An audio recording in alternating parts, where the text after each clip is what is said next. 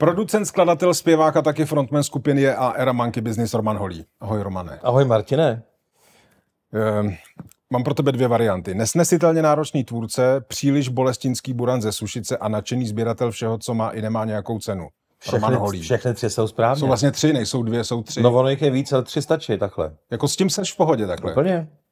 Jako představení tebe. No proč ne? Ehm, které z těch jako tě vystihuje nejlíp? Buran ze Sušice asi. Pořád? ne, to je, to je nadsázka. Ale já jsem Buran určitě, ale takovej, takovej poučený. Jako jak to skrývat? No to ne, já mám spíš ty, ty, ty vesnice rád, radši než města člověčet, možná v tom. Mhm. Ale přitom jsem projel jako dítě s tátou celý svět, protože byl námořník. Takže bych vlastně neměl být Buran papírově, zážitkově. ale Viděl vlastně... jsi svět? Jo. Byl jsem v roce 74 v New Yorku. To ti bylo, Třeba. To ti bylo sedm. To mi bylo Osm. 8. A to bylo něco teda. To to v životě nezapomenu. A ty si to pamatuješ? Jo, pamatuju. Byli jsme na Soše Svobody a pamatuju si na chuť té zmrzliny, kterou tam měli. Jako opravdu? Jo, jo, jo, opravdu. 8 už není tak úplně málo, to už člověk něco jako si pamatuje. To je pravda, na druhou stranu, jako v 74. se moc lidem nepodařilo jako vyjet do New Yorku. Proto o tom mluvím, to bylo, to bylo, to bylo jak zásah z vesmíru, to bylo úplně jako neuvěřitelné. A to jako táta přišel jednou domů a říkal, pojďte do New Yorku. My jsme s tátou jezdili s bráchou každý prázdniny. A on byl námořník. On byl táta. námořník, on byl první strojní důstojník na zaoceánských lodích. Jako na, č- na československý. My jsme měli velikou flotilu, než ji železný prodal, fantastickou. A my jsme s tím byli každý prázdniny venku. Takže to bylo... Proto jsem taky měl brzo přístup k muzice a vlastně mi to ulehčilo mnoho věcí. E, jako, mm, a nejdřív si chci povídat o muzice trochu, jako to prostě dává logiku, i přesto, že jako myslím, že ty sám říkáš, že je lepší jako tu muziku poslouchat nebo ji dělat, To než o ní říkám a to si myslím, no. No, jako rozumím. E, tak tohle to je tvoje citace. Nejsem si třeba schopný užít žádný koncert na 100%, hned tam vidím chyby, jsem s tím velmi otravnej.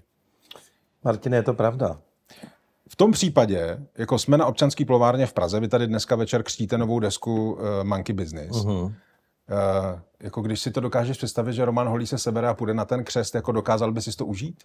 Dokázal, protože eh, právě protože jsem takovýhle nesnesitelný, tak tu kapelu vedu k tomu, aby to bylo tak, já si vždycky představím sebe, kdybych tam byl. To znamená, že to musí být jako báječný. Jo? A ještě si řídím jednou věcí, kterou vymyslel Dan Barta, kterou miluju úplně. A on vždycky říkal, že člověk by měl dělat tu hudbu tak, aby neudělal vostudu svým hrdinům. To je nádherná myšlenka. To znamená, já si velmi často představuju, že se tady zjeví eh, mezi těma lidma nějaký strašně dobrý muzikant. Ale kdo? No, Těch je nekonečně. Jo, jasně, kdyby prostě přišel a viděl Kdyby tě, přišel a musel, musel by říct, tak to je fajn tohle. Tak takhle já to mám. Víš? No, jako já jako rozumím tomu, jako že směřuješ k tomu, aby ten výkon prostě po všech stránkách byl jako boží. Jenomže to je jako, tomu se říká ideál. A ten ideál je to proto, protože ho prostě téměř nikdy nedošáhneš. Došáhneš. Jde to. Ne- Není to vždycky, ale jde to. Dá se to udělat. To znamená, že ty jako dneska večer, až budete hrát, mimochodem budete mít předtím debatu s lidmi, Ano. dotazy a odpovědi Ano, prostě. ano, ano. Eh, Tak až budete hrát, tak ty prostě potom jako si řekneš, bylo to na 100%, nebo to bylo na 90%, protože to prostě tady někdo zkazil. Hele, ono to bude znít hrozně, hrozně blbě, ale pojďme být v reálu, jo. My se fakt snažíme jako být připravený a věnujeme tomu spoustu lásky a, a, a času. A prostě máme vlastně ten standard, si myslím, velmi dobrý. Že bych v podstatě na každém tom koncertě bych klidně snes nějakého takového méně talentovaného muzikanta, jako třeba Phil Collins nebo Prince nebo tak. Prince byl mín talentovaný muzikant. To jsou vtipy. Vy Jo. tady, mo- vy tady moc najdete vtipy. Vy Ne, promiň, já jsem to furt. nepochopil, já jsem to nepochopil. Ne, Ježiš, to jsou samozřejmě naprosto smrtící, uh, sebe ironizující vtipy. Dobrý, já se- protože- Hele, se světská sláva, polní tráva, to mi vždycky říkali rodiče, to, se, to člověk nesmí nikdy se ze sebe, jako, eh, Posrat. no nesmí prostě, rozumíš, to je základ, jo. Ale zároveň můžeš vědět, co si udělal špatně a měl by si vědět, co, si, co dokážeš udělat dobře. Jo. Jo, A jasně. To, jak jsi říkal, že, že máte jako velice dobrý standard. Dobrý No, standard. jako super. Jenomže vlastně stejně tě nakonec definuje to eh, jako eh, to nejlepší, co uděláš, ne? Není Ano. to tak? Samozřejmě, to je jasný. Vždycky jde o ty písničky taky, že jo, samozřejmě, a ono toho je víc. Musíš mít taky hrozně štěstí, musíš mít štěstí na spoluhráče, musíš být pilnej, jako je toho mnoho. Postavit si kapelu je sen každého druhého kluka, to víme, na celém světě. Těch kytar a těch nástrojů se prodává takové množství, ale je extrémně těžký nějakým způsobem to někam jako dotáhnout na nějakou úroveň, která by uspokojovala. Fakt je to těžký. A není to je čirou náhodou těžký s tebou? ne, se mnou to těžký není. Naopak, když ty kapely jsou v nezměněné sestavě takových let. To jo. je pravda. Jako, No, o tom ne, žádná. To myslím, ne. No ne, víš, co ale narážím? možná to těžký někdy že jsem fakt, jako ne přísnej, to taky je blbý slovo, ale um, Ne, b- promiň, já jsem, jako, tohle to jsem tě slyšel říkat několikrát, nebo tvoje spoluhráče prostě a tak dále. Mě by jako nejvíc zajímalo, jak, jak to je v praxi. Jako, jak, jak vypadá tvůj perfekcionismus nebo perfekcionalismus jako v praxi? Mm, úplně obyčejně. Já prostě mám rád, když kdokoliv něco dělá, je připravený a nekazí to těm druhým. Je to velmi jednoduchý. Jo? Mm-hmm. Když jsi v týmu, tak já si neumím představit, že by tady byl někdo, kdo po půl, hodinu, půl hodiny, hodině rozhovoru řekne, Martine, promiň, já tam mám slabou baterku. Třeba. Jo. Dívám se za kamery. Jo, nebo Jo, prostě včera jsem viděl spát číšníka v prvotřídní restauraci a on nešel spát ani dozadu, ale spal přímo prostě tam, mm. kudy chodí hosti a on mě to tam zalomil. To by asi, je to lidský, ale já, já mám rád, když, když jsou ty lidi připravení a uh, vždycky říkám, že klíčem mýho jako štěstí životního je, že jsem si vybral velmi přísně ty báječní spoluhráče, který byli mm. většinou o několik tříd lepší, než jsem já. A to si myslím, že je taky klíč. Jako. Teď si děláš legraci, nebo Ne, teď si nedělám legraci. jako v čem byli lepší? No, jako, jako instrumentalisté, jako, jako hudebníci. Jo? Chápu, chápu. Já jsem jim jako dal nějakou vizi, nějaký písničky Aha. a vždycky jsem toužil potom, co tady moc nebylo, skombinovat vlastně obsah, dobrý obsah, s kapelou, která fantasticky hraje. A tady byla celá řada kapel, který měli obsah folkařů i různých undergroundů, který měli skvělý obsah, ale trošku pokulhávala ta hudba. Mm.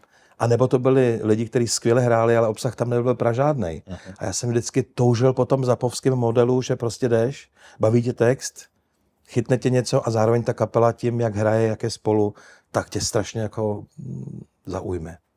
Tak to byl vždycky můj sen. Mm-hmm. Mimochodem, kdyby jako, jako přišel dneska večer Zapa a Mothers of Invention, eh, to by ses nestyděl? Ne, nestyděl a ještě bych, víc bych se snažil nějak eh, jako poskakovat, aby se mě všimnul. Jako, Smával. mával bych a ještě bych tam vpašoval v nějaký improvizaci nějakého slogany, protože to je, to je takový náš eh, guru v uvozovkách. Mm-hmm. Já mám ve studiu kompletního diskografii, takhle po stranách v čele všechny desky a on na nás dohlíží, aby jsme nedělali žádný uh, voloviny. Promiň, teď úplně jako odbočuju, ale eh, jako když mluvíme o Zapovi a tak dále, jak, jak ti vyhovuje uh, služba Spotify? Já jsem vlastně, já to doplním tu otázku, jako ten moment, kdy najednou z toho, že jsi měl doma nějakou diskografii, dejme tomu celého zapu a bylo to prostě famózní a mohl si pustit to, ale věděl jsi, že prostě jako od jiných nemáš všechno prostě. A teď máš najednou jako všechno. Martine, já jsem člověk nejvíc na světě, který mu to nejvíc nevyhovuje. No, Já to nesnáším. já, já to nesnáším. Já víc. Věřím. Já to nesnáším. Já to nesnáším. Mám to samozřejmě, ale já jsem oldschooler z mnoha důvodů, stejně jako ty a je nás pořád ještě hodně. Jo, pozor, není to tak hrozný. Mladí už to nejedou, to chápu, to je třeba respektovat, ale ona s příchodem internetu a tady těch různých služeb, eh, hudba, jak jsme znali, jak jsme milovali a ten příběh těch velkých kapel, všechno skončilo. Je to úplně jinak, ta realita je úplně jiná, je třeba ji žít, protože prostě to nezměníme, mm-hmm. ale já jsem, ne, že bych byl nepřítel, ale mm, mě, mě to nic neříká. I to, že mám v podstatě tunu těch zrnek rýže, ty zrnka rýže jsou písničky a já mám nasypanou tunu někde silo mám doma a nevím, kam co patří vlastně, nekouknu se na, na bůklet. Pro mě to jako není. Já pořád jedu tu starou školu, že furt jezdím po světě a hrabu se v CDčkárnách, které ubývají šíleně. Mám rád vinily samozřejmě Ono ve finále to je jedno, ale já mám radši tu starou věc, samozřejmě. Hmm. Mě Spotify vůbec ne... Krom toho teda ještě, že samozřejmě úplně brutálně eh, okrádá ty, ty muzikanty, jo. Příšerně úplně. Okrádá i vás mimochodem? Jo, no samozřejmě. Jen tak pro tvoji představu, a to je teda vtipná historka, představ si, já jsem měl první kapelu, která se jmenovala Doktor Max, to je ale opravdu pravěk, to je někdy po válce, to je poválečná kapela, to je opravdu jako štílně stará věc. Ale to bylo a... u vás v Jižních Čechách? Ne, ne, ne, to byla pražská kapela. To už bylo tady, Pozor, přesně tak. A měli jsme možnost natočit eh, první desku, kde jsem hodně, eh, to je první deska, kde jsem vlastně dělal trošku hudbu nějakou, to se jmenovalo Vaše tělo uletělo. A na Pantonu nám tenkrát řekli, kluci, druhá už nebude, prodali jste necelých 500 tisíc a to, to jako je málo. Zaujal vás rozhovor a chcete slyšet víc? Jednoduché řešení. Staňte se našimi předplatiteli a puste si ho v plné délce na webu DVTV. A pokud to ještě neděláte, začněte nás odebírat. Žádná luxuska už vám neunikne.